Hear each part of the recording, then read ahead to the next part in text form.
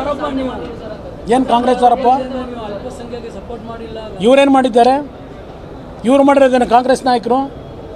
ಹಿಂದೆ ಎಲ್ಲ ಏನು ಮಾಡ್ಕೊಂಬಂದರು? ಫಾರೂಕ್ ಅವರು ಚುನಾವಣೆ ನಿಂತಾಗ ನಮ್ಮದು ನಲವತ್ತು ಓಟಿತ್ತು. ಎಂಟು ಜನನ ಇವತ್ತು ಕ್ರಾಸ್ ಔಟ್ ಮಾಡಿಸಿದ್ರಲ್ಲ? ಓಲಿ ಕ್ರಾಸ್ ಔಟ್ ಮಾಡಿ ಗೆಲ್ಲಿಸ್ಕೊಂಡಂತ ರಾಮಮೂರ್ತಿ ನಿಮ್ಮ ಜೊತೆ ಉಳ್ಕೊಂಡ ಬಿ ಜೆ ಪಿಗೆ ಹೋದರು. ಇದು ನಿಮ್ಮ ಸಾಧನೆ. ಕಾಂಗ್ರೆಸ್ದು ಸಿದ್ದರಾಮಯ್ಯವ್ರದ್ದು ಅದರಿಂದ ನಿಮಗೆ ಯಾವ ನೈತಿಕತೆ ಇಲ್ಲ ಕಾಂಗ್ರೆಸ್ ನಾಯಕರಿಗೆ. ಇವತ್ತು ಬಿ ಜೆ ಪಿ ಏನಾದರೂ ಗೆದ್ದರೆ ಅದು ನಿಮ್ಮಿಂದ ಗೆಲ್ತಾ ಇರ್ತಕ್ಕಂಥದ್ದು.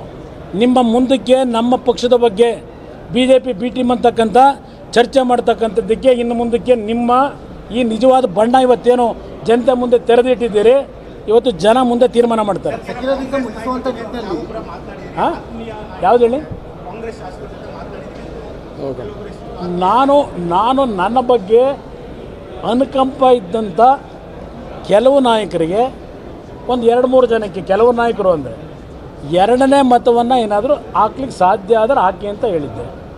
ಕಾಂಗ್ರೆಸ್ ನಾಯಕರುಗಳು ಎರಡನೇ ಮತ ಯಾವುದೇ ಕಾರಣಕ್ಕೂ ಜೆ ಡಿ ಎಸ್ಗೆ ಹಾಕಲೇಬಾರ್ದು ಅಂತ ತೀರ್ಮಾನ ಮಾಡಿ, ಬಹುಶಃ ನಾವೇನಾದರೂ ಈಗಲೂ ಸಹ ನಾವೊಂದು ಹೊಸ ರಾಜಕೀಯ ಮಾಡಬೇಕು ಅಂತೇಳಿ ಕಾಂಗ್ರೆಸ್ಗೆ ಏನಾದರೂ ನಮ್ಮ ಪಕ್ಷದ ಶಾಸಕರಿಗೆ ಮತ ಹಾಕಿ ಅಂತೇಳಿ ನಾನು ಏನಾದರೂ ಓಟ್ ಹಾಕ್ಸಿದ್ರೆ ಇನ್ನು ಸಿದ್ದರಾಮಯ್ಯ ಹದಿನಾಲ್ಕು ಜನ ಕೂರಿಸ್ಕೊಂಡು ಕೂತವರೆಲ್ಲ. ಬಹುಶಃ ಅವ್ರು ಬಿ ಜೆ ಪಿಗೆ ಓಟ್ ಹಾಕೋದಕ್ಕೆ ಕಾಯ್ತಾ ಕೂತಿರ್ಬಿದ್ರು ಅಂತ ಕಾಣುತ್ತೆ. ನಾವೇನಾದರೂ ಕಾಂಗ್ರೆಸ್ ಅಭ್ಯರ್ಥಿ ಗೆಲ್ಲಿಸಿದ್ರು ಸಿದ್ದರಾಮಯ್ಯವ್ರು ಇನ್ನೂ ಓಟ್ ಹಾಕಕ್ಕೆ ಬರದೇ ಇರೋದು ಹದಿನಾಲ್ಕು ಜನ ಇಟ್ಕೊಂಡು ಕೂತಿರೋದಲ್ಲಿ ನಾವೇನಾದರೂ ಕಾಂಗ್ರೆಸ್ ಗೆಲ್ಲಿಸಿದ್ರು ಬಿ ಜೆ ಪಿಗೆ ಓಟ್ ಹಾಕಕ್ಕೆ ತಯಾರಾಗಿ ಕೂತಿದ್ರು ಅಂತ ಕಾಣಿಸ್ತದೆ. ಅದಕ್ಕೆ ಇನ್ನೂ ಓಟ್ ಹಾಕಕ್ಕೆ ಬಂದಿಲ್ಲ. ಕಾಯ್ತಾ ಕೂತಿದ್ರು. ಇದು ಅವರ ರಾಜಕಾರಣ ಕಾಂಗ್ರೆಸ್ದು. ಅವ್ರನ್ನ ಕೇಳಿ ಸಾಧನೆ. ಮುಂದಕ್ಕೆ ಗೊತ್ತಾಗುತ್ತೆ.